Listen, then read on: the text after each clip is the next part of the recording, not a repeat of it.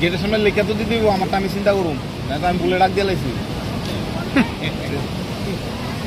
মানুষের এই জিনিসটি আছে না এটি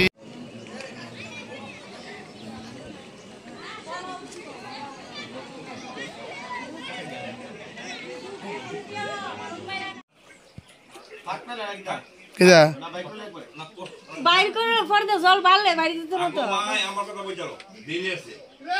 আরে আমরা তো যাই।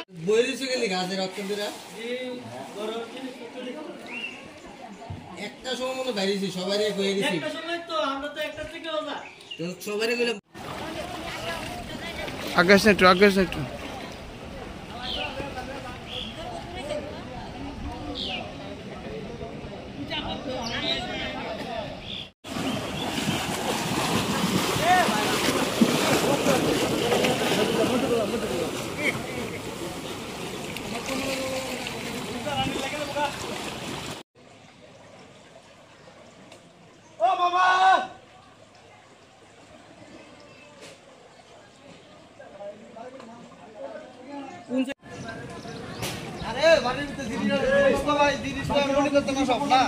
আমাদের তো মাঠে যাব না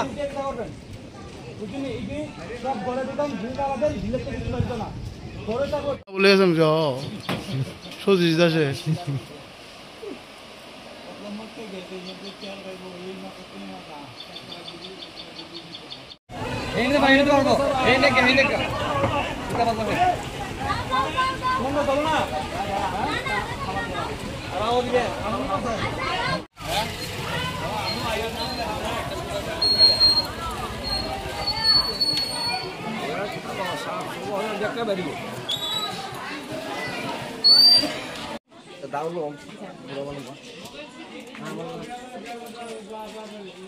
কইলে তোমার দুয়ার সব নাই আমি না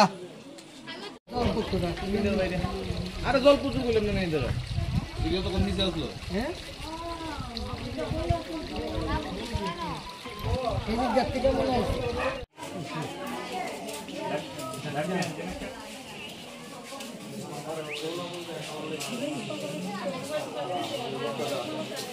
কুড়িতে একটা ফোন এসছে যে জল মানে খুব বেশি পরিমাণে মানে বাড়ছে।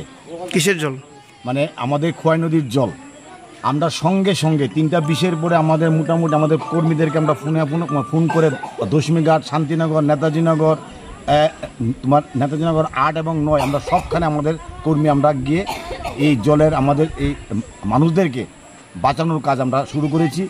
সঙ্গে সঙ্গে ত্রিপুরা সরকারের আমাদের টিএসআর থেকে শুরু করে আমাদের ফায়ার সার্ভিস থেকে শুরু করে এবং সিভিল মানুষ মানে তারা আপ্রাণ চেষ্টা করে প্রত্যেকটি মানুষকে মানে ঘর থেকে বের করে করে করে একটা নিরাপদ স্থানে আমাদের আমরা পৌঁছে দিয়েছি। এখন পর্যন্ত কতজনকে উদ্যোগ হয়েছে? এই যে আমরা এখন আছি নেতাজি নগরের নয় নং ওয়ার্ডের একটা পার্টে আছি।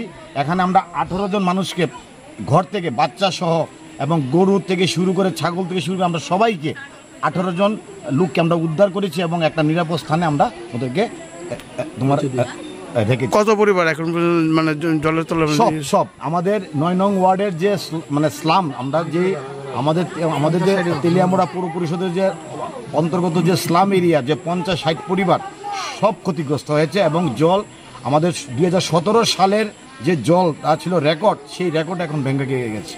আচ্ছা প্রশাসন তরফ থেকে কি আগে মাইকিং করা হয়েছিল নি কালকে কালকে সতর্কবার্তা দিয়ে দিয়েছে প্রশাসন থেকে আমাদের ইএসডিএম থেকে দিয়েছে।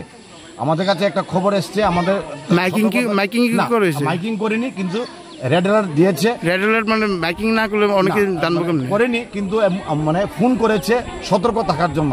মানে জল বাড়তে পারে এরকম একটা আশঙ্কা করে তারা মানে একটা রেড অ্যালার্ট দিয়েছে কিন্তু মাইকিংটা করেনি কিন্তু তিনটার পরে জলটা বেড়েছে এবং আপাতত মানে সব তেলিয়ামুড়া পৌর পরিষদ থেকে শুরু করে এসডিএম থেকে শুরু করে সমস্ত প্রশাসনিক লোক এবং সিভিল সবাই আমরা আমরা কাজ করছি এবং প্রত্যেকটি মানুষ কোনো মানুষের হতাহত হয়নি এবং মানে প্রত্যেকটি মানুষকে আমরা এখন তাদেরকে শেল্টার হাউস কোথায় নেতাজি নগরের নয় নং ওয়ার্ডের মধ্যে আমরা যে যে নতুন মোটর স্ট্যান্ডটা হয়েছে সেখানে আমরা শেল্টার হাউস করে করার ব্যবস্থা করেছি। কতজন এখন এখন সংখ্যাটা এখনও হয়নি কিন্তু মানে খুব সম্ভবত পঞ্চাশ ষাট সত্তর হতে পারে আরও বেশি হতে পারে।